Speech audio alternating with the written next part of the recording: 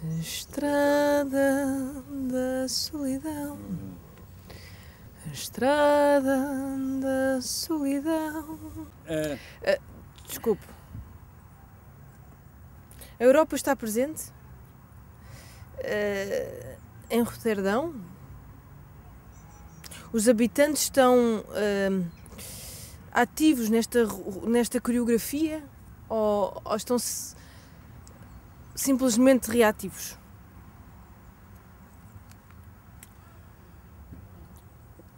Nederland is binnen Europa, ook Portugal hoor en ook Duitsland, zo klein. Eh, maar in de grote wereld zijn we allemaal stuk voor stuk, van Duitsland tot en met Malta en ertussen in Portugal en Nederland, nog veel, vele malen kleiner. Eh, en dat zie je op allerlei terreinen. Of het nou gaat om eh, oorlog, of, oorlog en vrede, dus eh, troepen te land, te zee en in de lucht. Wij kunnen on- ons in ons eigen landje niet eens verdedigen, mocht er een ongewenste gast van buiten naar binnen komen. Of het nou gaat om handelspolitiek of standaardisatie van een technologische vinding, eh, om die geaccepteerd te krijgen in de hele wereld. Wij hebben als kleine landen in Europa de hefboom nodig van de Europese Unie. En dan moeten we dus binnen de Europese Unie heel inventief en invloedrijk zijn om onze voorkeuren te krijgen tot gemeenschappelijk Europees beleid. En dan moeten we hopen dat de commissie, met name de commissie, erin slaagt om die gemeenschappelijke EU-positie, Europese Unie-positie, geaccepteerd te krijgen bij de grote blokken zoals de Verenigde Staten, Japan. G- blokken in, nieuwe blokken in de derde wereld, zoals voormalige derde wereld, China, Brazil en ga zo maar door. Want dat zijn fenomenale spelers geworden op mondiaal niveau. Ja, en wat is dan de power van Europa? Nou, dan kunnen we constateren dat in heel veel opzichten die, die macht van Europa op het wereldtoneel nog heel dun en beperkt is. Noem het voor mijn part soft power. We hebben nog steeds zo weinig in de melk te brokkelen, behalve als we wat geld, Europees geld, meenemen naar de, de platforms op mondiaal niveau. Want dan kopen we ons als het ware in bij de derde wereld en bij de eh, WTO, de Wereldhandelsorganisatie en de Wereldgezondheidsorganisatie en gaan zo maar door. Eh, en waarom zijn we dan zo, zo zwak nog qua power? Wel, ga dan terug naar de basics van eh, eh, in Europa met, met elkaar samenleven. Het hele project Europese Unie is eigenlijk nog maar zo jong. Zo jong, nog maar een, een 50, 60 jaar. Eh, en wij moeten nog steeds gewennen aan elkaar binnen Europa. En het kost ons nog zoveel tijd en moeite en energie om te komen tot een gemeenschappelijke positie, Europese positie van de Europeanen ten aanzien van de rest van de wereld. En het gaat dus nog heel lang duren. Ik zal een voorbeeld geven. De achtertuin van Europa kun je zeggen is het Midden-Oosten. Het Midden-Oosten. Eh, Israël, de Arabische Staten, Turkije, eh, Iran en ga zo maar door.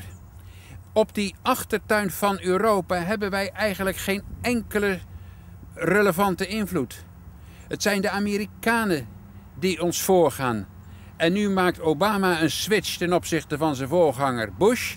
En nu drentelt Europa, wel opgelucht over deze switch, achter Obama aan. Eh, maar Obama maakt de kentering van het Midden-Oostenbeleid. En waarom is Europa zo passief, zo, zo traag in een eigen Midden-Oostenbeleid? Wel omdat wij binnen Europa onderling verdeeld zijn. Want het buitenlandse beleid is nog altijd in hoge mate een bevoegdheid van de 27 lidstaten tezamen als Raad van Ministers. Dus ze moeten het wel samen doen. Maar daar zitten de nationale hoofdsteden nog prominent prompt vooraan aan de tafel. En die worden het haast niet eens. Eh, Frankrijk wil een, eh, een Midden-Oosten-beleid wat ook respect toont voor de Palestijnse zaak. Om er een voorbeeld te noemen. En onze eigen minister Verhagen van het CDA, die probeert dat in hoge mate weer te blokkeren door altijd maar achter Israël te blijven staan. Dat is op zich zijn goed recht, zeker als dat ook de meerderheidsopvatting in ons eigen land zou zijn, want dan is het gewoon onze, onze invulling van democratie binnenlands. Maar daar kun je vraagtekens bij hebben en zeker kun je vraagtekens plaatsen bij zijn effectiviteit in de Raad van Ministers.